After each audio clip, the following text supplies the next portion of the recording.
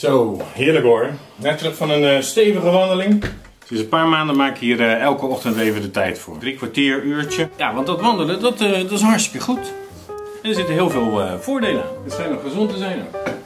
En nog een lekker regenbuitje gehad ook. Heerlijk. Voor mij het allerbelangrijkste is, S ochtends vroeg lekker, je neus gaat gelijk helemaal open. Ik heb een uh, lichte vorm volgens mij van apneu. En als je dan lekker gaat wandelen, dan voel je dat helemaal open gaan. Heer. Maar dit is toch Leons Wine Mentries? Wat heeft dit nou allemaal met wijn te maken? Nou, dat ga ik gauw vertellen. De link met wijn hierin, met zuurstof, dat is natuurlijk lucht. Zuurstof doet iets met wijn en meestal is dat goed. Als je de wijn goed rond laat gaan in het glas, dan komt er een beetje lucht bij en dat doet de wijn goed. Men doet dat dus niet om alleen een beetje interessant. Een nog efficiëntere manier om de wijn meer lucht te geven, is het overschenken in een karaf.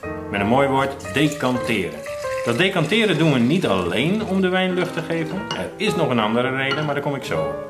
U kunt zich wel voorstellen dat de wijn hier blij van wordt. Dan zult u misschien denken, ja Leon, dat wist ik allemaal al. Tell me something new. Nou, dat blijf je natuurlijk altijd houden. Ik wil de filmpjes interessant maken voor iedereen. Maar het kennisniveau van de een is natuurlijk anders dan die van een ander. Maar daarom zal ik dan nu wat vertellen wat helemaal niemand nog weten kon. Want die wijn van gisteren vind ik nu twee keer zo lekker smaken. Ik vond hem gisteren al mooi en ik vond het erg moeilijk om hem niet helemaal op te drinken. Maar ik dacht, ik keeper hem eens in een karaf en kijken wat hij gaat doen. Nou, hij is twee keer zo lekker, hij is veel ronder, veel zachter, veel volwassener. Twee keer zoveel wijn voor dezelfde prijs. En dan zeg ik niet dat dat bij alle wijn altijd het geval is, maar het kan eigenlijk nooit kwaad. Nou, en nou nog even die andere reden. Decanteren doen we ook om het eventuele depot te scheiden van de wijn. Nou, als u het allemaal al weet, dan kunt u gewoon wegklinken. Het is video, maar wellicht nog even kijken. Want zoekend in Google op depot wijn, vind je op de eerste positie de link naar Wikipedia. En kwam ik ook wat leuke nieuwe zaken tegen. Kijk, er staat bijvoorbeeld dat depot ook Droesem heet. Nou, wist ik. Of Bezinksel, wist ik ook. Of Moer heet. Kijk, en dat is weer nieuw voor mij. Verder valt te lezen dat depot dus een drap aan vaste stoffen is die in wijn achterblijft na vergisting in tank of vat of na een bepaalde tijd van rijping in een fles.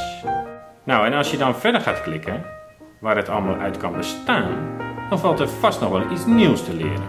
Nou, dat was nummer 12. Nog een paar dagen en dan is het alweer kerst. Ik ben benieuwd wat u gaat drinken. Ik ben nogal nieuwsgierig. Laat mij dat nou eens even weten. Vind ik hartstikke leuk. Bedankt voor het kijken weer. We zijn al dik over de 3000 views heen. Alle filmpjes bij elkaar opgeteld. Maar zegt het voort, zegt het voort. Het is heel makkelijk om uw vrienden of kennissen op de hoogte te stellen van Leons Winemantries. Onder elk filmpje zit zo'n button. Kunt u het delen via Facebook, Google+, Twitter, LinkedIn, Hives en nog een heleboel andere. In het kader van de Christmas Spirit word ik er helemaal blij van. Of als u het alleen maar wil sturen naar een specifieke vriend, waar u graag uw wijnen meedrinkt, dan kunt u via die share button ook gewoon een mailtje sturen. Nou, nogmaals mijn dank en tot morgen.